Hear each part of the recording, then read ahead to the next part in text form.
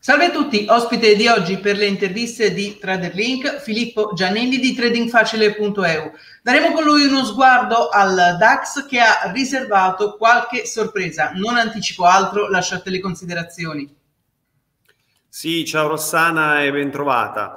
Sì, oggi parliamo del DAX, DAX che in queste prime ore di contrattazione eh, di questa ultima sessione eh, della settimana sta mostrando diciamo, una forza relativa particolarmente elevata.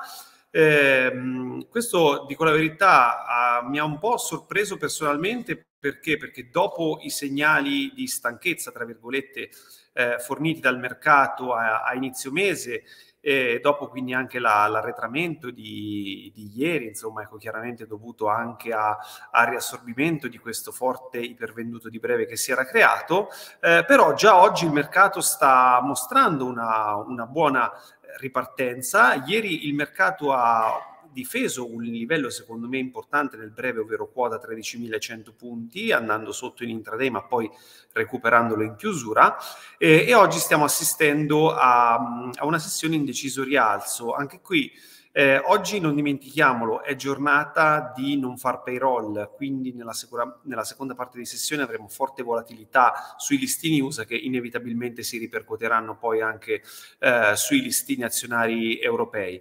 Eh, c'è però anche qui un livello da tenere sott'occhio perché se il mercato oggi riuscisse a tenere in chiusura almeno quota 13.270, secondo me eh, aumenterebbero le probabilità di assistere poi ad un mercato eh, comunque forte anche nella prossima ottava.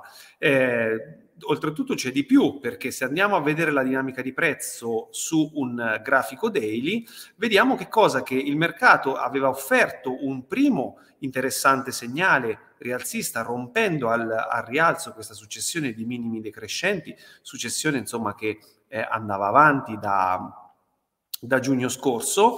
E qui poi dopo appunto eh, l'iniziale salita sul pullback appunto di, di ieri il mercato ha difeso questi, questi livelli appunto di, di, rottura. E oggi se il mercato dovesse confermarsi forte eh, e quindi chiudere eh, sui massimi, qui avremo un modello, un pattern a tre candele che è un pattern di tipo Morningstar e anche questo è un pattern di implicazione eh, rialzista. Però chiaramente, ripeto, sarà fon- fondamentale monitorare la, la chiusura odierna per saperne di più.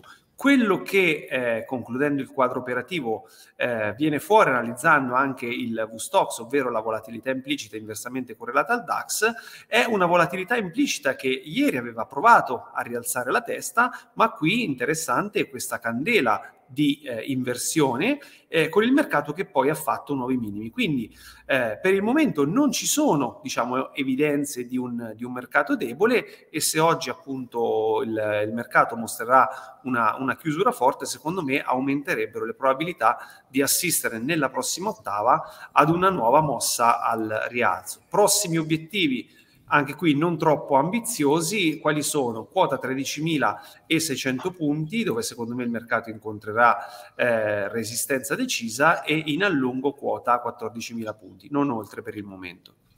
Perfetto Filippo, io ti ringrazio per tutte quante le informazioni e per la panoramica e intanto eh, rimando con te l'appuntamento alla prossima volta.